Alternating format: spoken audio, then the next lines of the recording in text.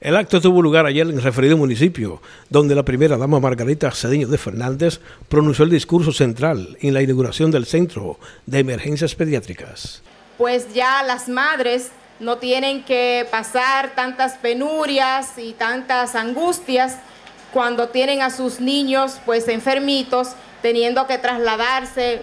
decenas de kilómetros hasta pues eh, San Francisco o teniendo que inclusive hacer fila y ser al final atendido por un médico general que independientemente de que sea un buen médico, pero no es el médico especialista para los niños. Y esa fue la motivación cuando llegamos al despacho como madre, como bien decía el, el padre, pues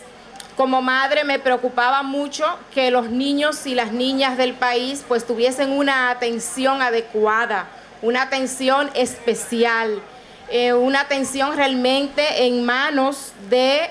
aquellos médicos que estudiaron específicamente esa rama de la medicina para atender a niños y a niñas. Y pues eh,